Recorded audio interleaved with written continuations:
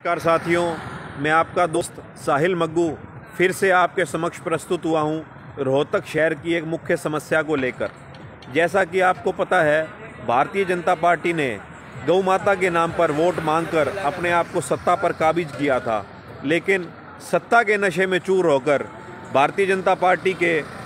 इस राज में रोहतक शहर के अंदर गौ माता की कितनी दयनीय स्थिति है, ये देखो, हम खड़े हैं उस सड़क पर जो भिवानी चुंगी से झज्जर चुंगी को कनेक्ट करती है, वहाँ पर नई सब्ज़ी मंडी, नई अनाज मंडी के गेट नंबर एक के सामने,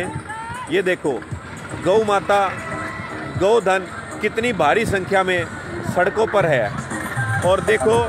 आने जाने के लिए जो व्हीकल हैं, उनको कितनी परेशानी का सामना करना पड़ रहा है। मैं सरकार से निवेदन करता हूँ कि आज जब एक लंपी बीमारी गऊों के अंदर आ चुकी है तो सरकार भी इस ओर ध्यान दे,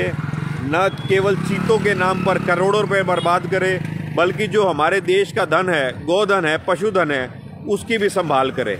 और एक पुख्ता इंतज़ाम करें कि यह पशुधन सड़कों पर ना हो, क्योंकि इससे ये देखो एक्सीडेंट की भी स्थिति बनी रहती है और गौधन को भी चोट पहुँचने की पूरी पूरी आशंका है।